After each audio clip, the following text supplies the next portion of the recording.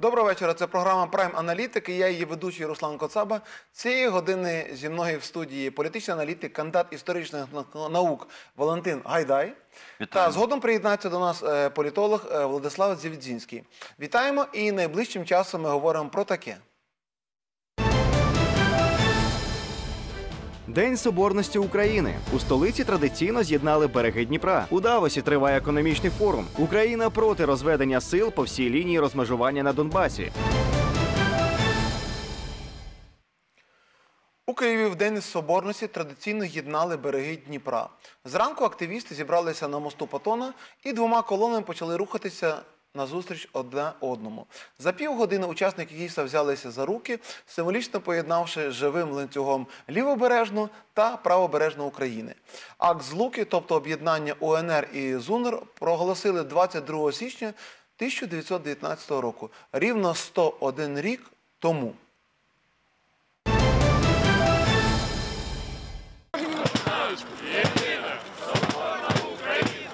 Мене День Соборності дуже особливе свято. У мене мама з Луганської області, тато з Житомирської. І тому вже понад 10 років е, зранку 22 січня я приходжу на цей міст для того, щоб об'єднати береги Дніпра. Бо Україна соборна назавжди одна єдина. Президент України Володимир Зеленський привітав українців із Днем Соборності. У відеозверненні глава держави закликав об'єднуватися не тільки навколо традиції, культури чи релігії, а й навколо цінностей, порядності, толерантності, свободи та демократії. Дорогі українці, рівно 101 рік тому відбулася одна з найбільш знакових подій в історії української державності та національно-визвольних змагань. Здійснились віковічні мрії, якими жили і за які умирали кращі сини України. Це цитата з акту Злуки, який сповіщав про воз'єднання в єдину незалежну державу та був урочисто проголошений діячами УНР та ЗУНР 22 січня 1919 року на Софіївському майдані в Києві. В усіх куточках України це зустріли піднесено та дуже захоплено. Нарешті з'явився шанс для побудови соборної та самостійної країни. Та він, на жаль, був втрачений. Амбіції тогочасних політиків завадили їм досягти справжньої державної єдності, єдності не у словах, а в справах. Невдовзі УНР залишила Київ під натиском більшовиків. Більшість території Галичини зайняли польські війська, північну Буковину румуни, а Закарпаття відійшло Чехословаччині. Минуло більше ста років. Чи зробили ми висновки з цієї історії? Вона вчить нас простого, але життєво важливого для України принципу. Тільки разом ми сильні. Як показує новорічне привітання, тема єдності болить кожному українцю. Та в пошуках цієї єдності ми знову сваримось. А довкола чого ми, такі різні і не схожі, можемо згуртуватись? Чи зможемо ми, не сперечаючись про минуле, рухатись у майбутнє? В сучасному світі почуття нації єдиним цілим виникає не тільки завдяки спільним традиціям, культурі та релігії. Є ще цінності, які прийнятні для кожного куточку України, і за якими у майбутньому українців могли би ідентифікувати у кожному куточку планети.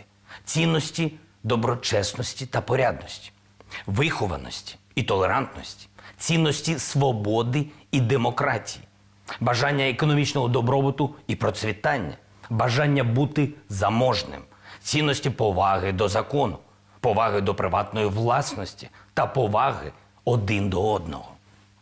Я українець, тому що живу за законом, завжди готовий у разі потреби захистити свою рідну землю. Я взірець для пострадянського простору у захисті своїх прав, захисті свободи слова, правової держави, громадянського суспільства, нульової толерантності до корупції. Я українець, бо я відповідальний громадянин Я сплачую податки, не їду на червоне, правильно паркуюсь, ніколи не сідаю за кермо на підпитку. Піклуюсь про довкілля, вчусь критично мислити. Я українець, бо ми найкращі в спорті, науці, в ІТ. Я веду здоровий спосіб життя, вчу іноземні мови, підтримую рівні можливості для реалізації чоловіків та жінок. Поважаю права представників всіх меншин та всіх релігій. Цей список можна доповнювати довго, і це потрібно робити кожному українцю, щоб у сучасному світі бути конкурентно здатним, і щоб згодом українцям стати першими. Так, сьогодні це мрія, але спільна мрія завжди була для нас рушієм, тією силою, яка нам зараз так потрібна. Дорогі українці, щоб бути сильними, треба стати єдиними. Щоб стати єдиними, треба бути сильними. Пам'ятаємо про це зі святом вас, з Днем Соборності України.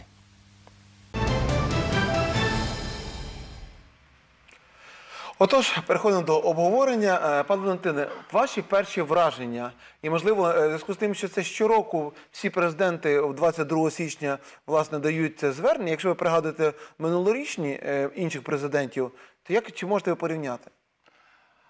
Дякую за запитання. Дійсно дуже важливий день історичний і е, актуальна дуже подія. День соборності, день об'єднання України. Актуальна як ніколи, враховуючи те, що знаєте, попередня влада е, доволі часто протиставляла одну частину суспільства іншій частині, одну точку зору інші точки зору. Е, Хотіла зробити ідеологію одного чи двох регіонів, ідеологію всієї країни, різноманітної країни. А, Дивіться, тут в чому справа? Україна е, і українці вони різні. Е, По політичним поглядам, е, за мовою спілкування, е, за релігією і так далі. Але я вважаю, що це взагалі-то не мінус. Це наш великий е, універсальний і і унікальний плюс. Єдине, що треба випрацьовувати е, єдину е, національну ідею, яка б об'єднувала всіх українців і на сході, і на заході, і що найголовніше в анексованому Криму і непідконтрольних частинах Донбасу. От е, і безумовно, щоб вона була прийнятна для всіх регіонів, щоб один регіон не домінував над іншим, щоб його точка зору не домінувала е, в Україні. Тоді я думаю, що у нас буде соборність не, не лише в календарі. І Чи на папері, а й в дійсності, і безумовно е, сьогодні президент зробив дуже важливі акценти. Е, толерантність, взаємоповага, взаємопорозуміння це те, чого зараз не вистачає Україні. Ви запитували, е, от чим відрізняється власне це- привітання від попередніх да, привітань. Ну, от, зокрема, наприклад, той самий Порошенко він завжди робив акцент там на, на якійсь одній точці, точці зору, що нам треба в Європу, там на захід. е, Е, Крим це Україна, Донбас це Україна. Але що далі? Е, Він нічого не зробив за 5 років. Ну, принаймні, я не побачив, е, щоб повернути ментально, економічно і політично Крим і Донбас, чи хоча б зробити якісь певні спроби. Тому вся, якщо вже е, резюмуючи це питання, да, е, вся політика е, минулої влади була спрямована саме на розкол суспільства за релігійною ознакою, за мовною ознакою і так далі. Наразі, е, що можна сказати про нинішню владу, Е, поки що її політика гуманітарна не гірше, але якісно і не краще попередньої. Приймаються закони, які дискримінують е, е, російськомовне населення щодо виховання і навчання дітей російською мовою, яка є рідною для мільйонів українців. От е, тому я вважаю, що якщо ми дійсно хочемо мати сильну країну, об'єднану не словом, а як кажуть, ділом, то нам треба безумовно е, м, е, і владі, зокрема, е, переглянути гуманітарну політику, історичну політику, і щоб вона була прийнятною для всіх мешканців України. Дякую за таку розлогу відповідь. Я Це ще не розлога, це так Ні, ну я просто веду до чого, що так сталося, що В далекому 1990 році я тоді ще був студентом у Львові, і ми робили е, таку акцію. Власне, оце першу е, хвилю єднання, оцей ланцюг єднання ми робили, зв'язуючи типу Львів з Києвом. Тоді було на, на такій стадії поставлено завдання, і я пам'ятаю, що нас вивезли десь в поле, там, де не вистачало людей, е, бо тому що як звикли, що в містах там бажаючих було багато, а так, щоб воно було красиво і символізм був не тільки на папері, а й насправді, то треба було, щоб бодай хоча б люди взялися за руки або хоча б один другого бачили.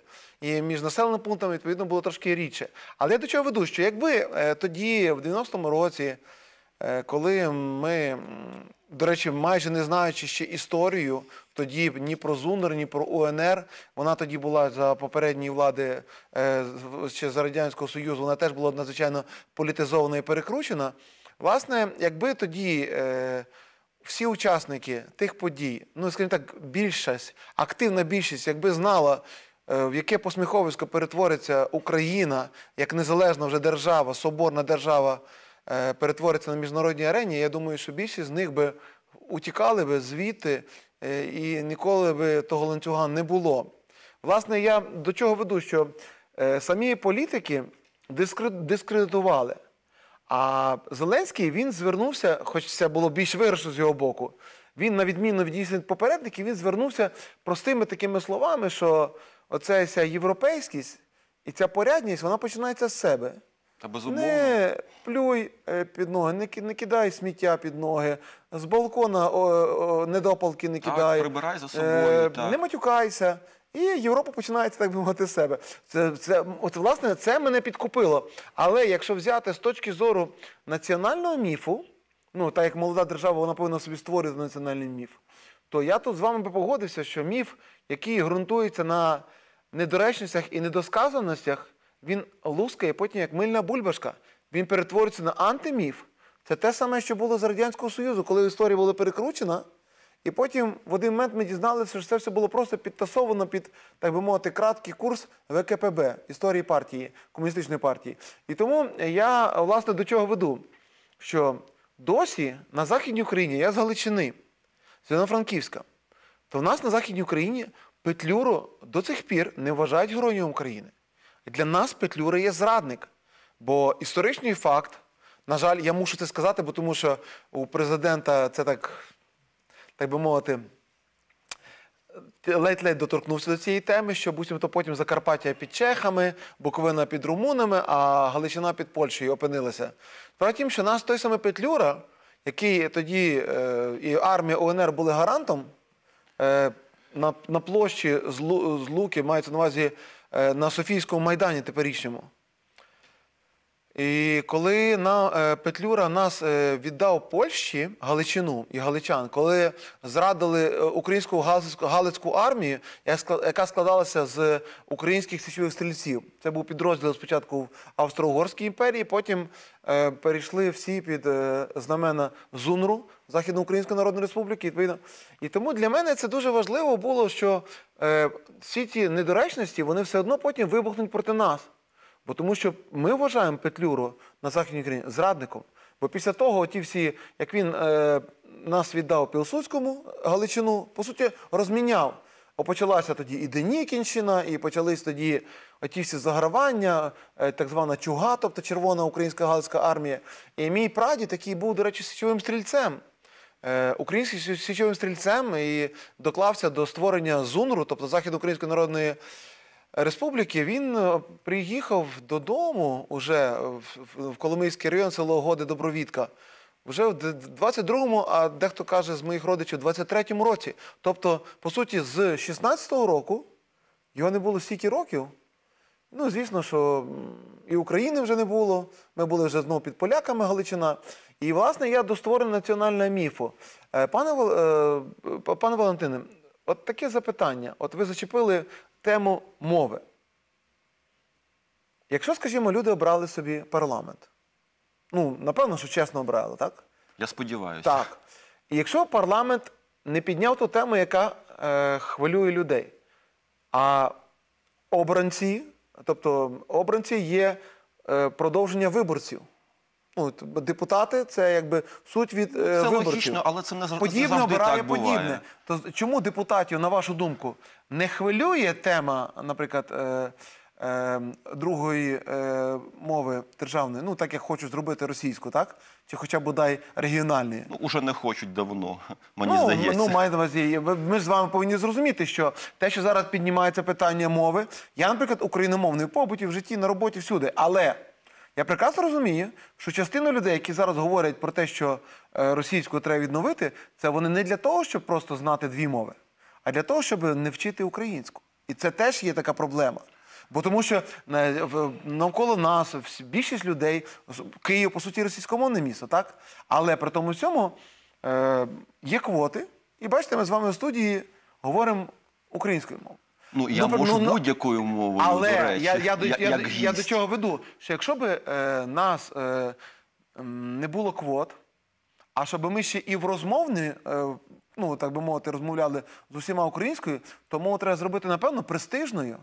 Не треба, напевно, такими натиском чи погрозами адміністративних там штрафів тому подібне. Напевно, має бути не революційний, Конечно. а еволюційний процес. Ну, бо ви самі Насильно- зачепили тему мови, а я бачу, що тема мови зараз також виступає, так вона така заполітизована стала, що таким чинником, який реально зараз знов роз'єднує Україну. Вот видите, я сейчас на русский язык перейду, потому Ну. что я имею полное право, как гость, пока, слава богу, никаких квот не ввели для гостей. Ведь Телеведущие, возможно, да. В какое-то время определенные эфирные, они обязаны э, на украинском языке говорить. Э, В принципе, я ничего в этом плохого не вижу, э, потому что у нас нет никакого языкового барьера. Э, Во Львове прекрасно понимают русский, в Одессе украинский. Так всегда было. Кстати, вот уже после аннексии Крыма э, проводили эксперименты, приезжали журналисты или блогеры в Крым, э, и говорили на украинском, их все понимали, потому что на подсознательном уровне крымчане, ну, для них ничего не поменялось. Вот. Для них, как есть ли там туристы, может быть, конечно, не так э, сейчас много, как раньше. Ні, ну в да. Криму. Я, наприклад, особисто теж Крим, коли приїжджав е, уже після анексії, зі мною говорили нормально, привітно, але погоджуйтеся, що е, неадекватна по- політика ну, попередньої влади у нас сприяла тому, що зараз багато людей вороже ставляться і до не тільки до української мови, але й до носіїв української мови, в тому ж таки Криму. Есть такое, я с вами согласен, но тут надо тоже не только с э, прошлой власти Э, спросить, но и с э, власти российской, нынешней, да, перезагруженной, э, потому что все-таки, знаете, можно много чего списывать на Майдан, на Турчинова, на Порошенко, на их политику, которая отталкивала крымчан и Крым от, от Украины, но факт аннексии, он тоже остается фактом аннексии, это тоже надо признать. Вот. Значит, касаемо языка, действительно правильно, Руслан, я с вами согласен, что должно быть не навязывание украинского, а его популяризация через создание э, качественного украиноязычного продукта, э, фильмов, кино, передач э, и так далее. Потому что, ну, знаете, если просто у нас дублируются фильмы там и сериалы российские на русском языке на украинский язык, но не создается качественного продукта именно украинского, украиноязычного, то, конечно, это не воспринимается русскоязычной частью населения Украины, а она довольно большая, э, может быть, даже больше, чем украиноязычная. Ні, ну, е, е, пане Валентине, власне, ви російськомовний в побуті, так? Э, Ну, в- в семье. 50-50. Так, от я до чого веду. В зависимости от ситуации. Ну, Мне я, никакой я, нет я просто сложности знаю, що перейти на скажімо, украинский ваш язык батько, или- ваш батько він двомовний такий, тобто він е, п- переходить е, вільно українська, російська, тобто він е, тому. Але я, до- я до чого веду? Що е, тут не, не, не суть. Просто коли зараз починають мусувати тему мови і, власне, роблять з цього політичний аргумент.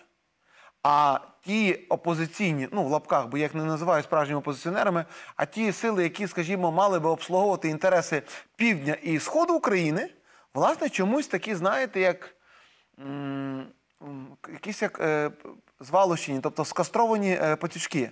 Ну, от вони, тобто вони ніякі. Вони розкошують і вони, напевно, думають, що в зв'язку з тим, що немає іншої альтернативи, і вони автоматом знову наступне скликання е, прийдуть і, можливо, з опозиції перетворяться у владу. Ну, ваша думка, чому, власне, на рівні Верховної Ради немає мусування, ну, маєте на увазі е, спроб, там, якісь альтернативні законопроекти. Це ж не тільки те, ви, ви уявіть собі, Нет, я б- почему есть? От отдельных депутатов, от «Слуги народа» есть э, м, законопроекты об Я говорю отмене... опозиціонери, тобто це слуга народу це влада. Я понимаю, а я говорю, но там оті тоже всі... есть различные группы влияния и различные депутаты. Ну чомусь, е, Чомусь е, я е, не звернув увагу. Вірніше, я звернув увагу ще минулий тиждень, коли був на комітеті з інформаційної політики, і коли, мі- коли там е, в БПП сказали, що в них є, е, ну, це є ЄПС, е, партія Європейської солідарності, у них є альтернативний законопроект, е, альтернативний до законопроекту Слуга народу, а опозиціонери з ОПЗЖ сказали, а в нас нема нічого. І я був шокований, як це опозиція, вона на будь-який, е, навіть коли е, узгоджене, все одно не треба показати свою узгодженість, треба дати альтернативний законопроект. Гаразд, у нас є телефонний дзвіночок. Можливо, до цієї якраз теми нашої розмови. Доброго вечора, ви в прямому ефірі. Хто ви? Звідки ви? Доброго вечора. Будь ласка. Це Віктор з Харківщини. Я хотів е, насчет мовного вопроса е, сказати, мені кажеться, е, щоб ріш- розрішити цей вопрос, треба трошки глибше в історію піти. Тому що в нас все, починаючи з Київської Русі, і більше глибше ніяких опускань історичних ізучень національних і традицій і прочее далі не ведеться. А це можна тільки там е, на цю сложну проблему рішити, знайти. Дякую вам. Ну, от бачите, є така думка. Хоча я вам скажу, що колись е, я, мені вдалося, тоді ще жив такий мовознавець е, Григорій Нудьга у Львові. І він, е, пам'ятаю, напевно, одну з останніх своїх лекцій в житті давав для нас, тоді для активістів там, студентського братства, Української гельсінської спілки. І я пригадую, що він е, таку дав е, обґрунтування теорії, що власне е, українська мова вона була як розмовна мова. Але для мови спілкування між різними частинами е, Русі тоді ще не було Київська Русь, просто була Русь. То між іншими частинами Русі то була, так би мовити, мова, от, власне, така, яка називають старослов'янська. Ну, та, кілька така була. діалектів новгородський, київський, потім галицький. Знаєте, коли я бачив теж е, при ще попередній владі такі, знаєте, листівки чи білборди там в метро, часто їх можна було зустріти. За часів князя Володимира розмовляли українською. Я за голову хапався, тому що тоді не було ні української, ні російської мови, ні білоруської. Була руська мова з тими самими діалектами, про які я казав. У Новгороді говорили е, на одній мові, однією мовою, десь, е, наприклад, у Суздалі іншою. Е, Чи, наприклад, на теренах сучасної Москви, да? От, е, в Києві ще іншою. Ні, ну я більше я б, власне у підтвердження ваших слів, е, що я вам мушу сказати, що е, діалекти і суржики, особливо діалекти мови, наприклад, наприклад, однієї тільки Франківської області, Івано-Франківської області, Прикарпаття, я можу сказати, що якби ви почули справді, як говорять гуцули, Чув.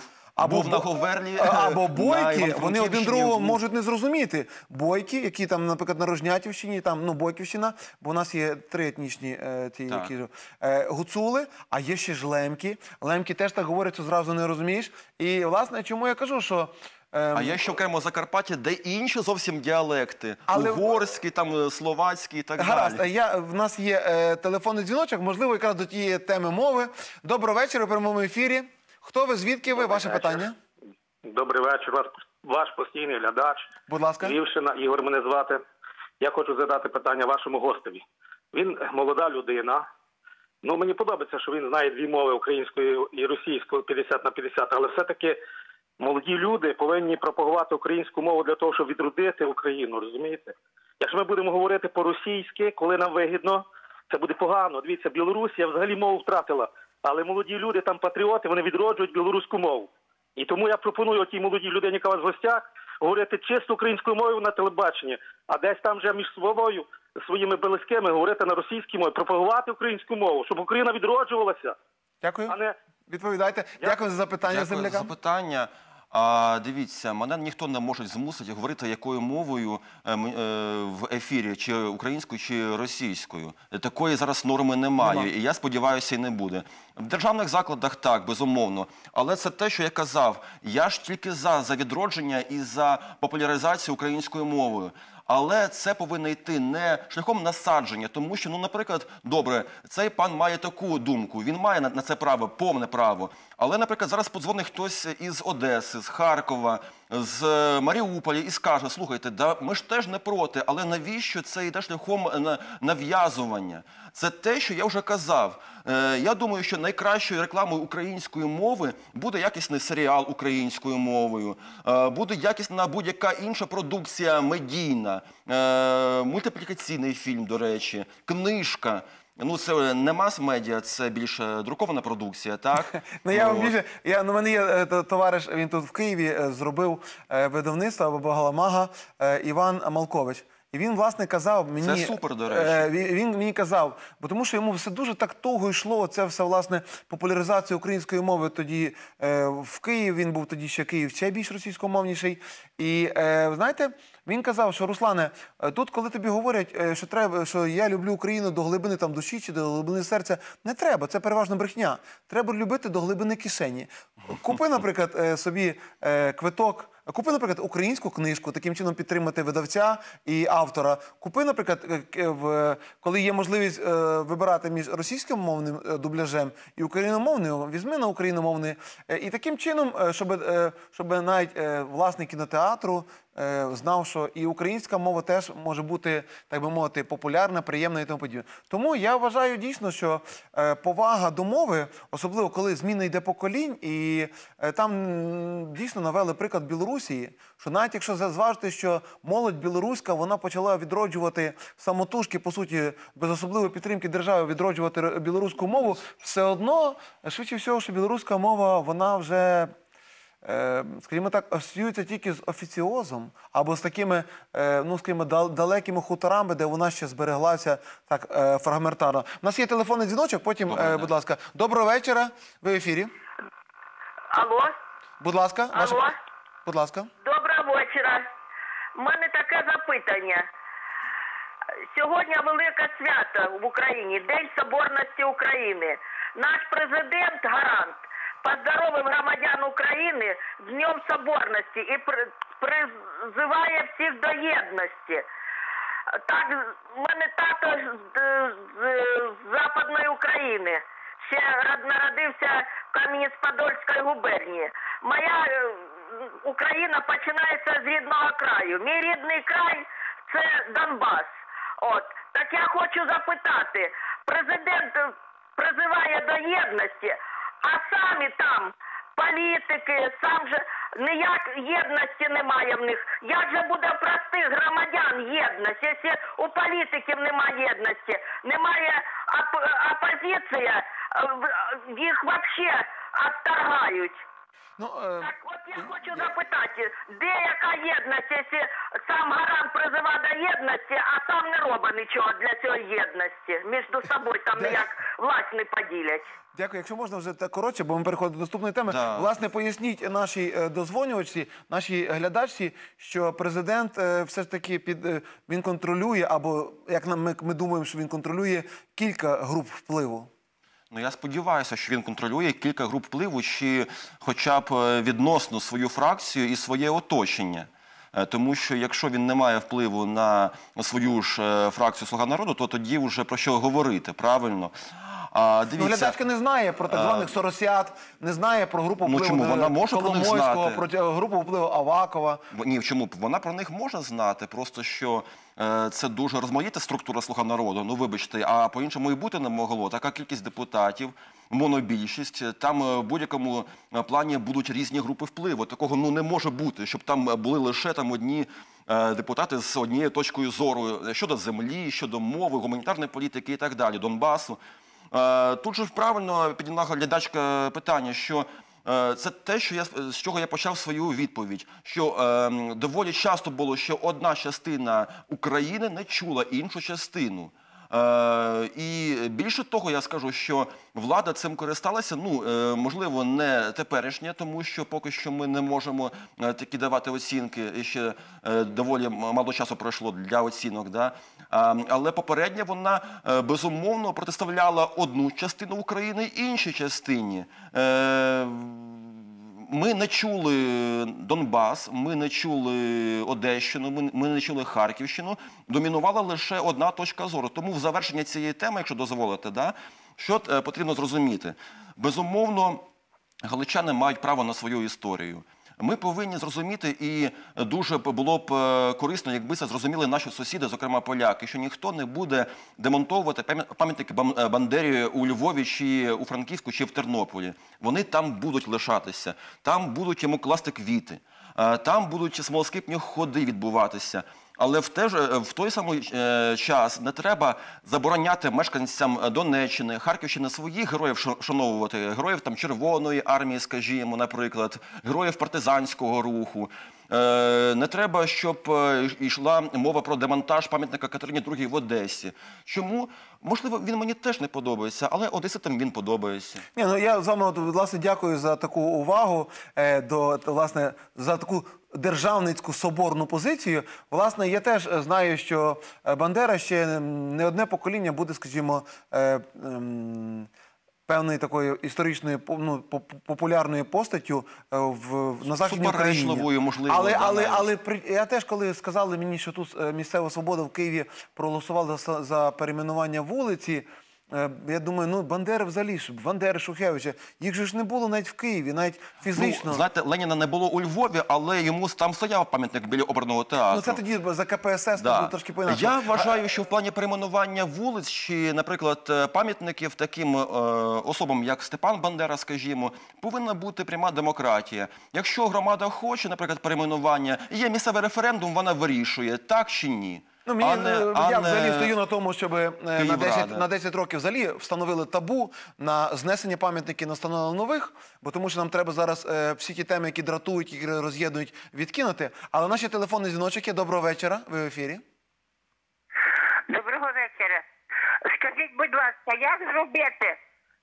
Треба купляти українське телебачення, треба купляти українські канали, а нема за що пенсія 1600 гривень. І ще треба ліки купляти, левова частина йде всього на ліки. Дякую. Ну, тема того, що з 20 числа, е, навіть на хто дивиться телебачення на супутниковому телебаченню, там будуть вимагати купити тюнер за він понад тисячу гривень і здається 75 гривень щомісяця, навіть щоб передивитися Ну, українські ви хочете діджиталізація. В, в тому числі і на телебаченні. Але наскільки я знаю, ще лишається цифрове телебачення. Ну, те два, так. я їм користаюся, і в принципі там ніяких жодних тарифів нових е, я не чув. Щодо супутникового, чесно кажучи, я не розумію, е, чим такі тарифи обумовлені і такі ціни на цей тюнер. Мені важко сказати. Але безумовно, ну люди е, в місцинах, які віддалені від е, е, великих міст, вони не повинні бути без інформації. Ну, є ще і крім того, мережа інтернет, але, Але, ми йдемо... не, завжди є пок- покриття між Ну іншим. так, так, так. Навіть але, в Києві. але ми е, йдемо до наступної теми.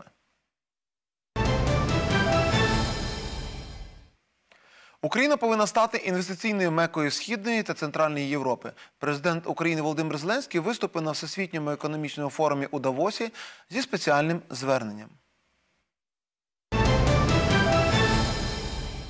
Шостий рік у моїй країні йде війна. Шостий рік, як Росія анексувала у нас частину території. Незважаючи на тисячі сторінок міжнародного права та сотні організацій, покликаних його захищати. Ось така у нас з вами New Normality. Так, світ згуртувався навколо вирішування цих питань, але чи достатньо українцям, загиблим і тим, хто втратив домівки, чи достатньо їм всесвітньої стурбованості та занепокоєння? Цього замало. Якою, на вашу думку, є задача для країни, що втратила частину своєї території та є далеко не найбагатшою на старому континенті? Стати лідером, так, стати лідером Східної Європи та Центральної Європи. Що означає не інвестувати в Україну сьогодні? Це стати Джорджем Беллом, який у 99-му році відмовився купити Google за мільйон доларів. Тож, don't miss out Ukraine. Власне, у нас таке, бачите, обговорення буде. Давайте таким чином, щоб загострити його. Перше питання. Як ви думаєте, чи адекватний е, інвестор потенційний захоче вкладати гроші в країну, інвестиції в країну, де, е, яка не контролює ні власний периметр кордону, і яка є в всіх антиіндексах, скажімо, як сама корумпована, де найменше зарплати, де найбі- найбільше, скажімо, дитяча смертність, і, ну і тому, е, тому, тому далі. Ну, скажу так, е, інвестиції заходять, але, звісно, не в тому об'ємі, про який нам обіцяв Гончарук, там, про які мріє Зеленський, і які були б дійсно е, видимі для економіки нашої країни. Ну, зовсім не, не може бути без інвестицій. Вони є і в країнах Африки, найбідніших, там, і найкорумпованіших, Латинської Америки і так далі. Але, безумовно, якщо ми кажемо про е, якісно інший рівень інвестицій, такі, як, як колись був свого часу в Китаї, наприклад, так, в Південній Кореї, то безумовно треба зробити е, наступні речі: закінчити війну, тому що це лякає безумовно великих е, крупних інвесторів. По-друге, приборкати корупцію, рейдерство, що дуже важливо, тому що е, якщо навіть потенційна людина хоче сюди зайти, вкласти гроші, то нема гарантії, що потім не буде захоплення рейдерського е, цього підприємства чи об'єкту, який вона там чи збудує, там чи візьме в оренду і буде його фінансувати, наприклад. Тому безумовно треба спочатку це е, приборкати корупцію, рейдерство безвідповідальність, так е, чиновницьку, і тоді вже можна буде про щось говорити. Але знову таки не, на цих форумах, тому що форум в Давосі це вже більше не форум економічний, а більше така, знаєте, майданчик для дискусій. Що там робить е, Грета е, Тунберг, наприклад, екоактивіст? Це ж від Сороса, напевно, представляє. Ну, що вона робить на економічному форумі, де мова про економіку, про фінанси, про бізнес. Що робить ця дитина? Вона ж нещасна дитина, там, напевно, і медичні діагнози, і її тепер змушують, щоб вона екологічним транспортом, тобто пішки ходила всюди. Давайте до нашої розмови приєднався е, пан Владислав Дзвіздінський, політолог. Отже, пан Владиславе, говоримо про те, е, е, сьогодні виступив, буквально годину тому виступив президент в Давосі, і він сказав, що про Україну назвав як одна з найбільш інвестиційно привабливих країн. Е, Це при тому всьому, що індекси корупції, там е, смертності. Ну, ми розуміємо всі антирейтинги, де Україна, на жаль, є лідером. Отже, питання е, я задав вашому візаві і вам повторюю: це піар, примітивний популізм? Чи дійсно ви вважаєте, що інвестор, відповідальний інвестор, може вкласти е, інвестиції в країну, яка навіть не зможе контролювати не те, що свої власні кордони, а навіть свою власну владу? Доброго вечора. Я насправді в цій тезі погоджуюся з президентом, тому що маю власний певний емпіричний досвід. І коли ти живеш в українських реаліях, ти вже дивишся на світ і власне все, що відбувається, виходячи з того, е, в яких ми умовах живемо, і і дивишся на світ українськими очима. На жаль, український погляд це погляд через проблеми, через труднощі. І ми їх всіх бачимо, відчуваємо. Частину ви їх перечислили, починаючи з корупції. Однією з найбільш важливих причин, що зупиняє інвестиції зовнішні, зокрема в Україну, і прихід сюди інвесторів. Поможе Але- Давос і виступ? Переконає але когось? є величезне але. І коли я спілкуюся з, наприклад, аналітичними агентствами е, іноземними, які, які дуже цікавляться пострадянським простором, і, зокрема Україною, адже це найбільш трансформаційна країна з всього пострадянського простору, вони більше бачать можливості, які поки що не може забезпечити і перетворити в результат українська влада протягом років незалежності. Пояснюється це дуже просто. Е, Європейський ринок, зокрема американський ринок, тобто багатих країн, у яких е, є вільні кошти, і вони вже бажають їх інвестувати далі, щоб заробляти, е, проводити капіталізацію. Він переповнений усім, переповнений товарами, ринком послуг і більшості компаній іноземних, які є вже транснаціональними, дуже тісно в межах єдиного законодавства, єдиної держави. Тому вони шукають, тому вони і транснаціональні. Адже вони вже бачать весь всю карту світу, всюди, де є люди, де можна продавати товари і послуги, як місце для інвестицій. У- Для них Україна це країна з величезним, е, вже відомим, наприклад, запасом е, природнім, починаючи з українського чорнозему, запасом корисних копалин. Наприклад, мова може йти про розвитку газу сланцевого, який в нас чомусь держава не інвестує. Це величез... країна з е, відсталим, я не знаю, наприклад.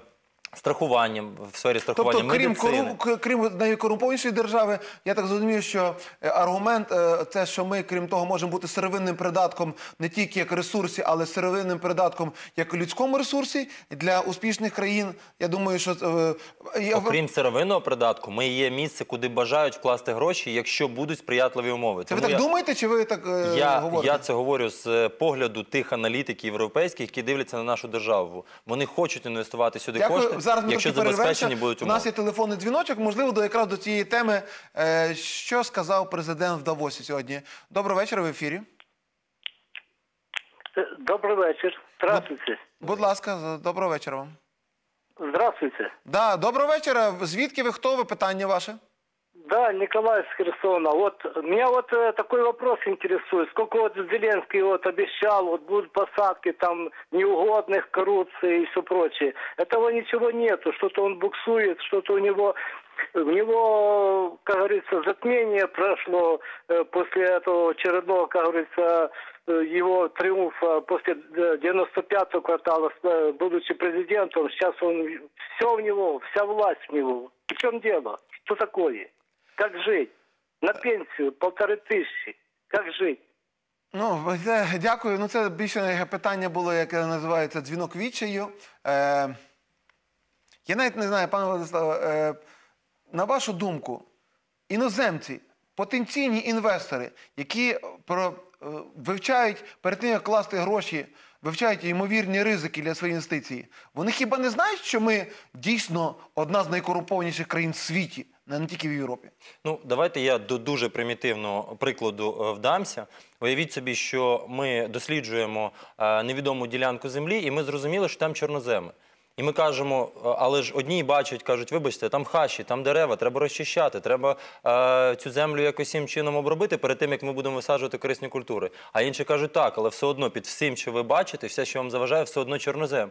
І якщо ви це все розчистите, ви все одно отримуєте дуже якісний ґрунт для вирощування дуже якісних культур. Це приблизно так само, вибачте за ну, аналогію. Питання з... сировинних, я питання скоректуємо таким чином, бо тому що людину більше хвилює не е, хвилює влада. Про, будь ласка, прокоментуйте. Я от мріяв саме вам це задати питання. Е, Бо ви, скажімо так, е, якщо вже говорите про те, що в нас такий уряд, президент, продвинуті.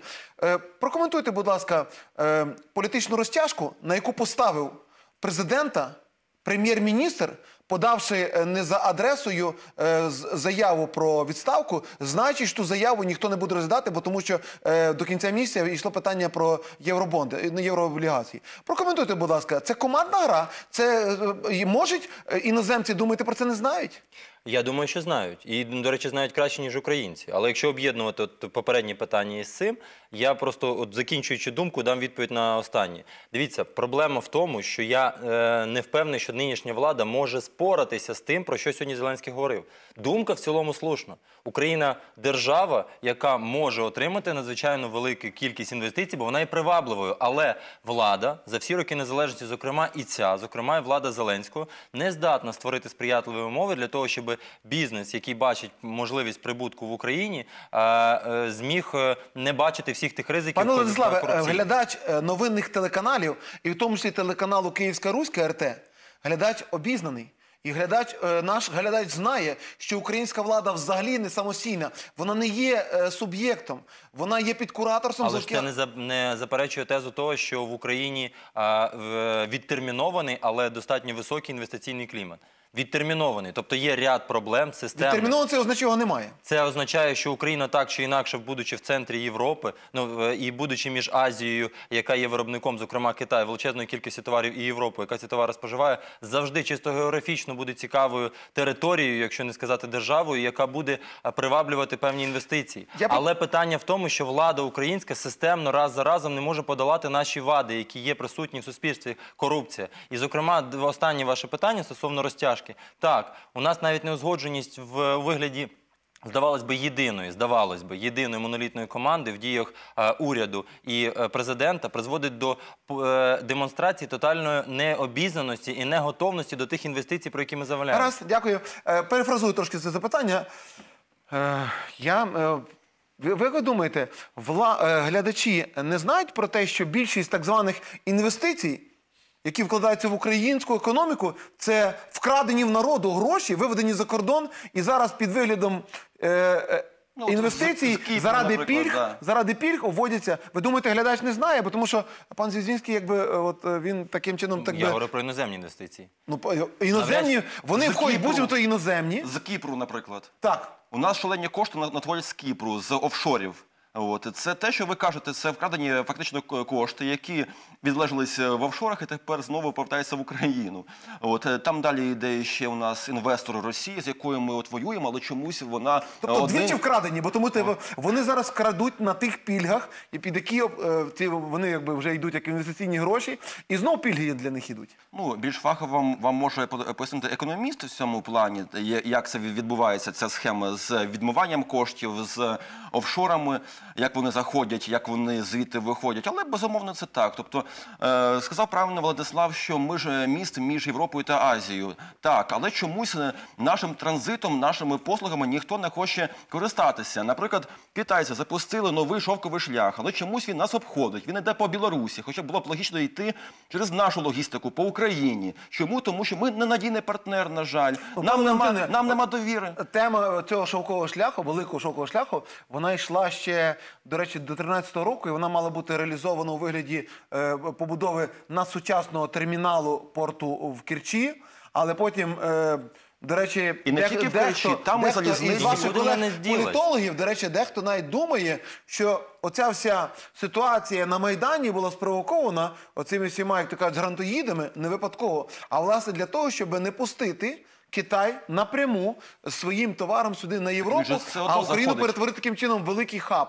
Ну це так дехто говорить. Ми можемо робити припущення, але давайте таким чином. У нас є зараз можливість перейти до наступної теми. Окей. Ой, вибачаюсь, у нас є телефонний дзвіночок. Доброго вечора. Хто ви звідки ви?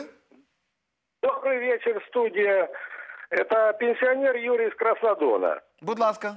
Вот, вот я слушал э, речь э, внимательно Зеленского. И у меня такое сложилось впечатление, что он поехал просто до конца продать Украину. Что он предложил? Людей предложил. 500 э, предприятий и землю. Больше у него в речи ничего не, не считалось. И вот у меня такой вопрос. Вот если продадут землю, может, война остановится, может, люди поймут, а за что воевать теперь? Спасибо. Так, буде коротенько, бо я, наприклад, багато в чому погоджуюся з глядачем, але я не маю права е, свою точку зору давати. Почнемо з вас, пан Владислава. Якщо мова йде про те, що виступ Це людина презид- дзвонила з непідконтрольної території. Якщо мова йде про те, що виступ Зеленського схоже на піар-хід, так е, багато заяв і виступів, і, в принципі, вся діяльність людини, яка прийшла з, е, скажімо, піар-галузі, може і буде схожа завжди на піар-ход. Тому, безумовно, це гарна міна при поганій грі. Це заявка на, ту роль, яку Україна поки що виконувати не може. Тобто, це повертаємось до того нашого первинного запитання. Стосовно того, що е, пропонується знову ж таки інвестиції в українську землю і е, продати землю, продати людський капітал, тобто е, робочі руки, теж це не є стратегічною, можливо, правильною тезою. Можливо, знову ж таки, він бачить цю ситуацію інакше через те, що бажає, щоб українські люди кваліфіковані працювали в Україні на іноземні фірми. Але тоді, вкотре ми повертаємось до тези, треба створити умови для того, щоб іноземний капітал не просто кращих кадр забирав, які створюють власне і накопичують е, українське багатство, український бюджет, е, забирали на територію своїх держав, а хотіли відкривати. Свої філії, представництва або заводи на території нашої країни, але це комплекс проблем, які, схоже, ми просто не обговорюємо, а беремо лише е, Дякую за вашу розгорнуту відповідь. Пане Валентине, е, власне, під таким кутом, е, зважаючи на те, що от дзвінок був з, з тимчасово непідконтрольної території, з, з Краснодону, да. от яким чином, коли людина дивиться українські телеканали і виступ українського президента, вона ж прекрасно все розуміє, що по суті йде завдання дорозпродати ті активи, і по суті, і навіть наших людей е, перетворити теж як в один з активів. Е, На кріпаків або просто на непотрібні, е, на непотрібний якийсь такий версію населення. А як, як, як зробити як- привабливим фермери, для людей з, з того ж таки Краснодону Україну? Я до чого закликаю президент? Ну, ну мінімально зняти блокаду з Донбасу. Тому що багато кажуть, е, говориться про об'єднання, про те, що Донбас це Україна. От я розумію, є певні там е, гальмування в реалізації мінських угод. Я все розумію. Але ж е, зняти блокаду ми можемо уже зараз без жодних путінів, Макронів і Дякую. Меркель. Власне, погоджуюся з вами. А ми йдемо до наступної теми. Після Давосу президент України Володимир Зеленський їде з дводенним робочим візитом до Ізраїлю. Глава держави візьме участь в п'ятому всесвітньому форумі пам'яті Голокосту. Там буде і президент Російської Федерації Володимир Путін. Переговори глав держав не заплановані, проте зустріч двох президентів на полях форуму не виключена. Якщо особисте спілкування таки відбудеться, говоритимуть про подальше звільнення полонених. Про це повідомили у прес-службі Офісу президента. Коротенькі обговорення, будь ласка, е, бо виявляється, що дають, міняють всіх на всіх, знов всіх на всіх, і так виходить, що знов є і є полонені. Таким чином, цей обмінний фонд, ну є таке цинічне визначення, постійно наповнюється. Ваша точка зору, е, хто мав би бути ініціатором цієї зустрічі? Е, Путін чи Зеленський? Важко повідомити, напевно, вони обидвоє зацікавлені. Путін зацікавлений е, не посилювати або навіть зняти санкційний тиск на себе і рухатись далі в економічних стосунках з Європою і е, іншими країнами. А Зеленський безумовно поставив собі завдання номер один з початку виборчої кампанії президентської це припинення війни. Припинення війни складне явище і багаторівневе. Найпростіше це обмін полоненими. Те, що цей фонд, на жаль, е, людський збільшується, зрозуміло, поки є протистояння, є е, затримані ув'язнені люди з обидвох сторін. Але чому це обговорюється? Бо це найпростіше, по-перше, реалізувати, по-друге, найпростіше показати як результат своєї діяльності, наприклад, Зеленському.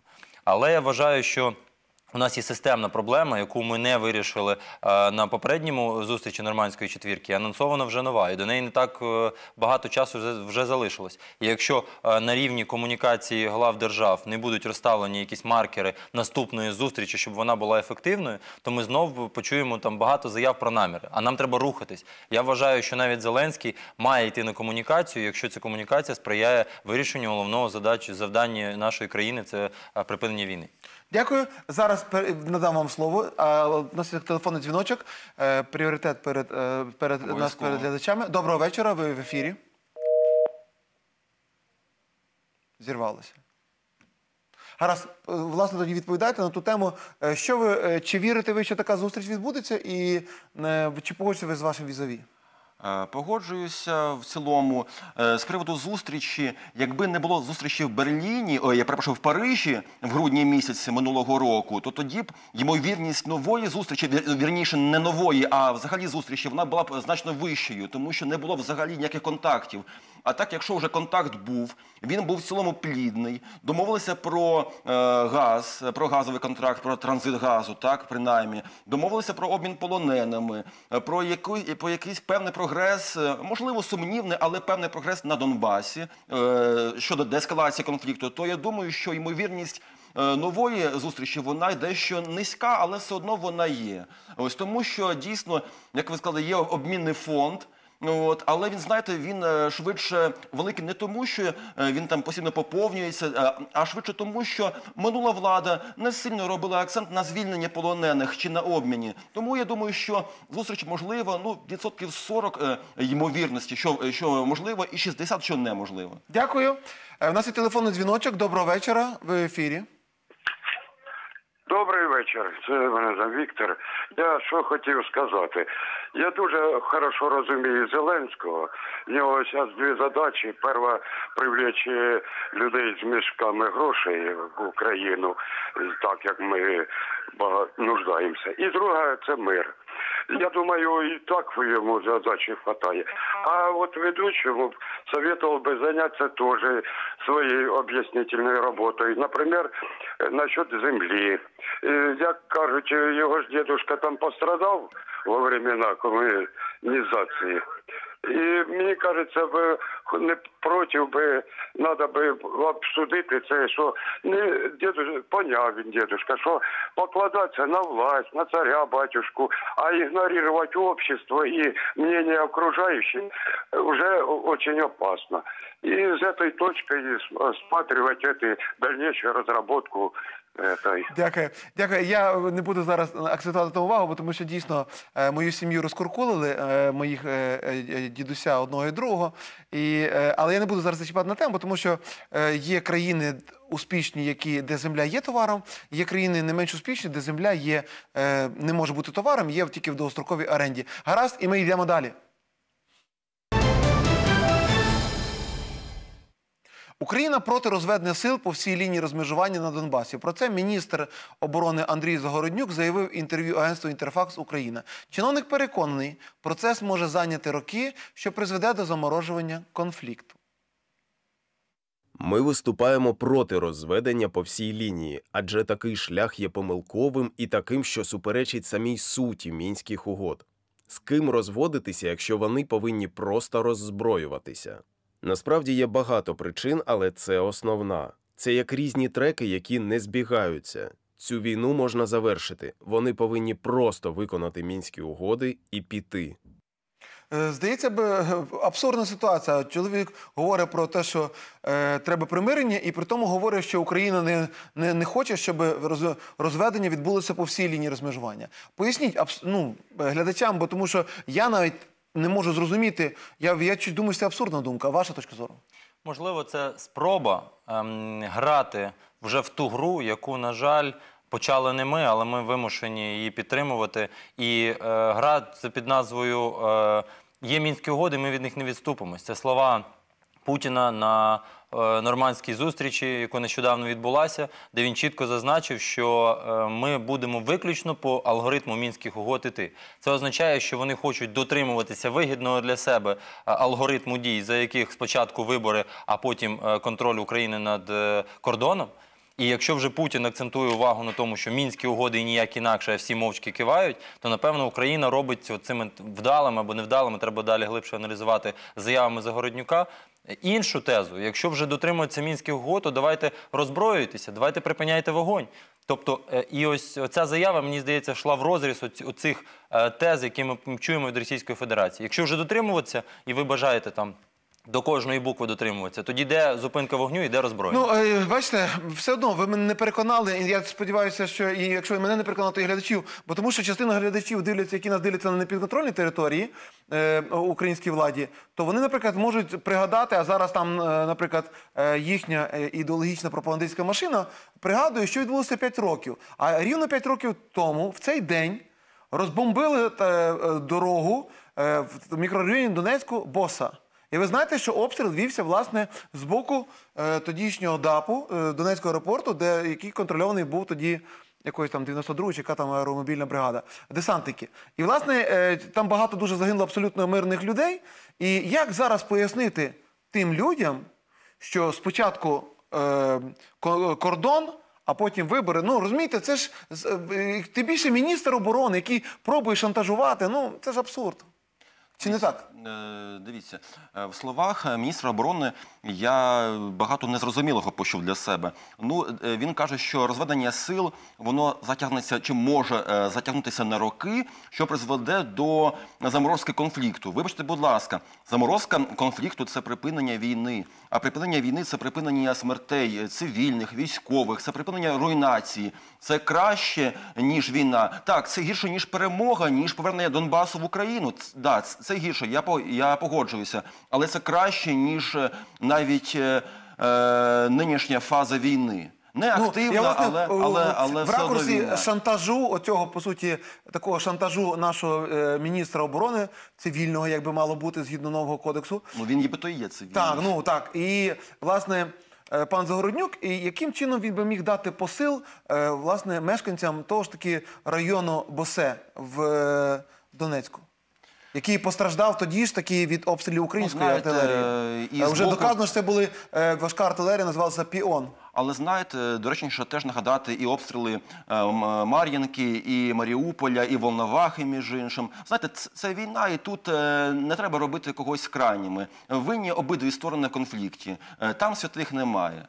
От, і знаєте, я вкотре повторююся, що чому міністр власне так багатозначно говорить, так надто політичною мовою, такою, що це навіть не дипломатична мова, бо це просто мова шантажу, я там. Можливо, е, я думаю, що нинішня влада вони заручники ситуації, тобто вони е, чітко не можуть ні виконувати мінські домовленості, але і якийсь свій план, про який розказував Зеленський, що у нього є свій план, вони теж не можуть реалізувати через певний спротив суспільстві, політикумі, зокрема в радикальному сегменті політикуму.